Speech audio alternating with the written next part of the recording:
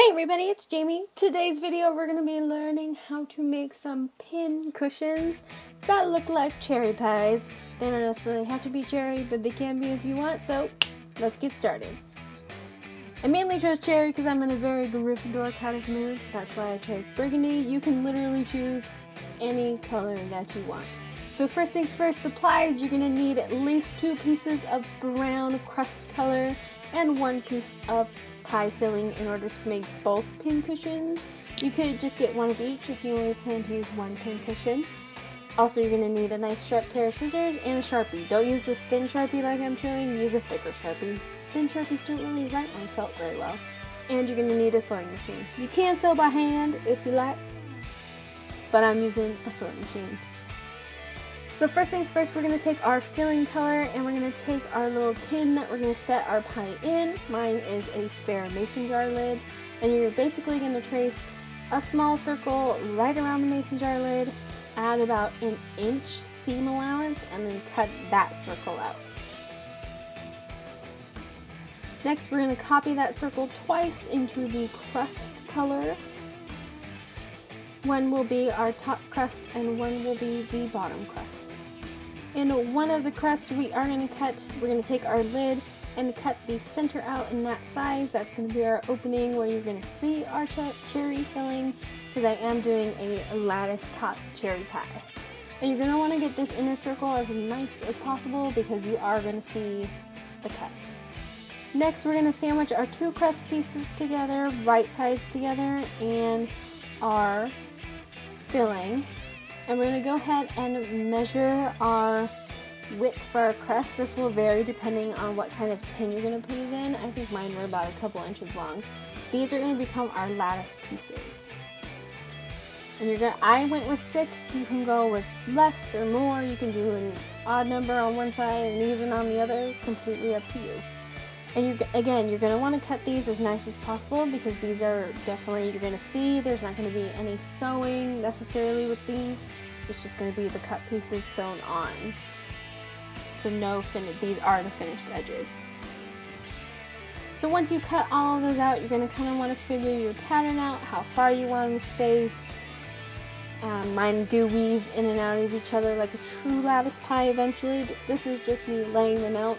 I'm going to mark the starting points of each of them and then sew them on. We're only sewing the starting points as of right now because we do want to weave them back and forth, but I want to make sure I sew them in the right place first. And then you can go ahead and sew them on very carefully, very slowly. Take your time because they will move. And once you get one side of each of the pieces down, I'm also doing a my seam as nice as possible because again, you're going to see that seam and that seam will come into play a little bit later. But you're going to want to make it nice because you are going to see it. But once you tack down one side of each of the little lattice pieces, you can go ahead and weave them through and then sew down the rest of the sides. Also make sure to have the bad sides or the wrong sides, basically the sides with the Sharpie, facing up right now because they will eventually face down. I didn't do that with all of mine, so you will see a bit of Sharpie. And once that is all done, you have something that looks a little bit like this. Starting to look like a pie. Next, you're going to sandwich all of your circles together. Again, the crust right side together and the maroon on top. And then you're going to want to do a nice straight stitch all the way around. Make sure there's no holes or anything of the sort. And then you're going to want to cut off any of the excess felt because you want the minimal amount of bulk. On the bottom crust, you're going to make a cut right in the middle. That is going to be the spot where we're going to turn it inside out. You do that and it looks a little bit like a beret, but we're to fix that with a top stitch. So we're top stitching over that seam that we used to attach our lattice pieces and it's to make it look more like a pie with a nice wavy crust. Look at that, looking like a pie. Next, for the filling of the pie, I am using a bunch of fabric scraps I had from my dog bandanas. Um, you can also use some polyfill. Polyfill will have your um, pins go in a little bit easier, but I wanted to kind of be conscious, use up all those fabric scraps, put them in. And then to close up, we're going to take some embroidery thread and a curved needle. The curved needle is my personal preference, and the embroidery thread just helps close it up a little bit faster. I make mine into a big loop, not one end, sew it all together, and then I'm able to just tie a regular knot at the end instead of trying to do like a slip knot thing in the jig. Basically, when you're done, it's gonna look like this. It's gonna look a little bit like Frankenstein, but you're not gonna see this part to be honest, so it doesn't really matter. But look at that! We got a little pie, you guys! I think Dean would be very happy with our pie sewing skills here. And now we're going to take our little tin. You can put a dab of hot glue or super glue in there to keep it in the tin. I don't know if I'm going to keep mine in the tin because it's going to float around my sewing stuff. But yeah, that's kind of what it looks like. I would make it just a tad bit smaller than the lid than I did, only so it would sit nicer in. But that's just me. And then all you gotta do is put some pins in it, put some needles in it, and you are ready to go with your own miniature pie. For the slice of cherry pie, you're to need the same exact materials, except this time it's going to be a slice, so it's to be a triangle. So we're to start out with a triangle. My triangle includes how big I want my slice to be and about a half an inch seam allowance.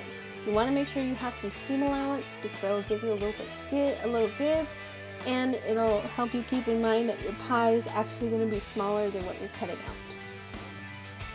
I based my triangle on how wide I wanted it to be. If you want it to be a little bit more of a fat triangle or even a skinnier triangle, that's perfectly up to you.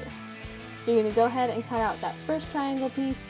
We're going to take the measurement of the side and we're going to cut out two rectangles from our filling piece. Since it is a slice, you will see the filling on the sides and I'm going to make it a lattice top so you see it on the top. So these two rectangles are going to be the sides. They are smaller than the crust piece because I'm giving about an extra half an inch for the crust to stick above the slice of pie. These two strips are about an inch and a half to an inch, I would say. I don't remember. Now we're going to go ahead and cut a triangle piece out of the filling and we're going to cut some strips for the lattice. I just end up using the leftover felt from the first pie and just cut the full length of the piece of felt and then we're going to trim them to fit. I cut four, I ended up only needing three. So we're going to take our filling piece and we're going to design our lattice. I kind of have mine going at diagonals. Again, you can make it go whatever direction, however many you want. You can even make them a little bit thinner if you wanted to, but I really didn't want them to take up a whole lot of filling because the filling piece is a little bit thinner than the crust pieces, so the pins will go in a little bit easier into the red instead of brown. So you're to go ahead and lay them down like this and then give them a good pin and then you're going to figure out your other three lattice pieces and then you're to run it through the sewing machine. So after you run it through the sewing machine, just cut off any of the excess felt that you have left and we're going to go ahead and start attaching the side pieces. You're going to want to lay down your side pieces right sides facing together put a couple pins in it and then just run it right through the sewing machine with a straight stitch. Again, make sure that you don't have any gaps or holes in the side. And then you're going to go ahead and do that with the second piece. And then once you get to the crust, you're going to want to measure about half an inch down and make a line. This is where the little half an inch is what's going to be kind of the crust that sticks above the piece of pie. And the rest is going to be the actual back of the pincushion. So you're going to want to pin it so that that little half an inch is on the right side of the lattice and that it doesn't accidentally get sewn into the pie instead of on the outside of the pie. And then go ahead and give that a quick straight stitch sew. And as you see, it is slowly coming together. We're going to attach our bottom crust piece. I started with the sides first, with also sewing up the sides together and to the crust. I found that to be the easiest because I don't mind if the back of my pie is kind of ugly with the close up stitch. So you go ahead and flip your pie around. Again, you're looking like we got a little bit of pie here. And I'm going to go ahead and sew up both of the sides and as much of the back as I can with still having room to flip it around. So as you can see, when you sew up the sides, you kind of have to flip it back in. So now you're going to want to flip it back out. And then we're going to go ahead and fill it with the innards of my old pin cushion. I've had this cactus pin cushion for a while. I also made this and I decided it was time for a new one. So I'm just going to recycle what is inside this and it should be plenty.